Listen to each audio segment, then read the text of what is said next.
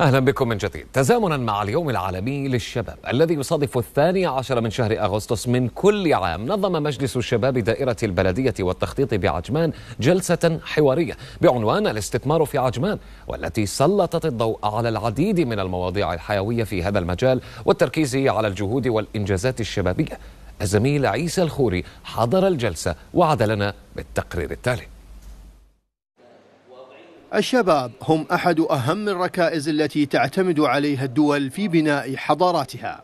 ويأتي يوم الشباب العالمي الذي يصادف الثاني عشر من شهر أغسطس من كل عام ليحتفل العالم بجهود وإنجازات الشباب.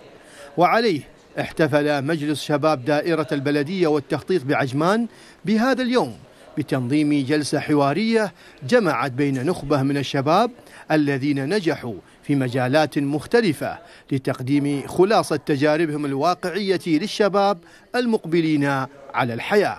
مجال الأعمال هذا يخليك آه، صاحب قرار. آه، لأن تدخل في مواقف تحتاج أنك تكون صاحب قرار ولا ما تقدر تنجح. وجهة نظري صعب تكون أنك تنجح في هذا المجال إذا ما كنت صاحب قرار. طبعا صاحب قرار أنت تتعلم مع الأيام. اليوم أنا الحمد لله خمس سنوات صار لي في هذا المجال.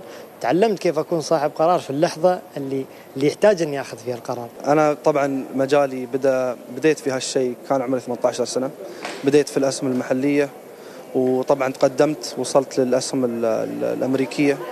واستثمار كان كان عندي من الاستثمارات المضاربة وكان من الاستثمارات غرض الادخار. دعم الدولة. طبعا الدولة يعني دولة الإمارات زرعت فينا آه، هالشيء زرعت فينا حب للاستثمار زرعت فينا حب للتقدم. تخللت الجلسة مناقشة العديد من المحاور التي اشتملت على التخطيط الحضري ودوره في تعزيز الاستثمار والفرص الاستثمارية في إمارة عجمان وأولويات الاستثمار في السوق العقاري. بالإضافة للفرص الاستثمارية على المنصات المختلفة التي بدورها تقدم آفاق جديدة للشباب. حبينا أن نركز على عنصر الشباب وتزامنا مع اليوم العالمي للشباب. آه، عندنا آه، عقدنا جلسة آه، حوارية محورين. محور أولا الاستثمار في عجمان وكيف هي الخطة الحضرية الموجودة في الإمارة تخدم هذا الجانب وخاصة من جانب الشباب نزيد الوعي. والجلسة الثانية إن شاء الله بتكون في تحول الأمن الغذائي وأيضا هاي ركيزة أساسية موجودة.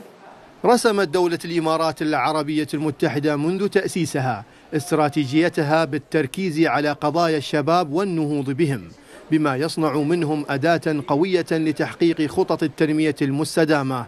وها هي اليوم تجني ثمار تجربتها العريقة في العمل مع الشباب ودعمهم وإعدادهم لتحمل المسؤولية وتعزيز روح القيادة لديهم وإشراكهم في عملية صنع القرار.